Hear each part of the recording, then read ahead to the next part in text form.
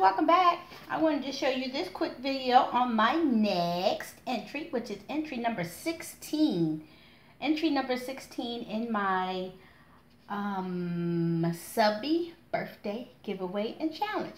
Yay for me! So this is uh, entry number 16 coming all the way from Puerto Rico. Yes, I love it. This is from um, Ladia. I think I'm saying her name right.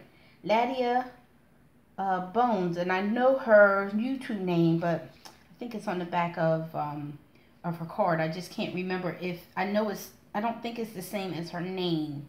I think it's like L Bones or something like that, but don't quote me. But we'll check because there's the envelope.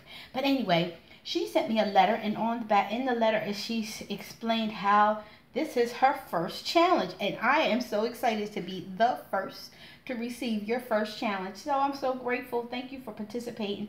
And she was sweet enough to not put in one, but she did two because she found a crafty sister where she can get two counts with one. So she did, she says she used a six by six, she got two cards with one six by six sheet. So she was excited and I'm excited too. And she said um, her that she learned, oh, she got it from her crafty sister, uh, Lollipalooza. That's who I got addicted to these memory decks because of her. She got me hooked onto it too.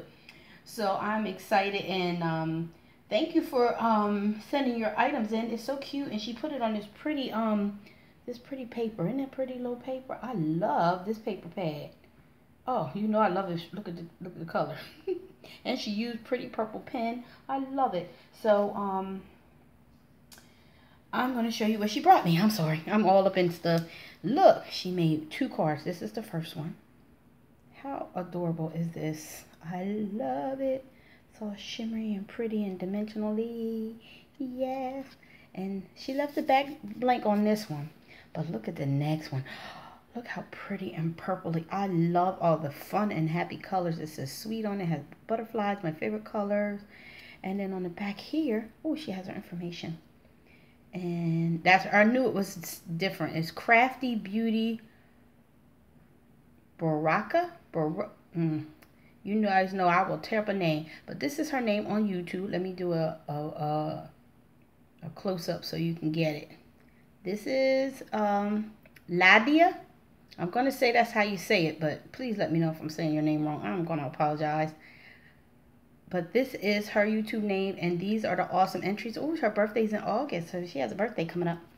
And these are the wonderful, awesome cards that she sent me. I'm so excited. And I'm going to make sure I um, put her name on the back of them and let her know um, that I received them and to, so I'll remember who sent that to me because I don't want to forget.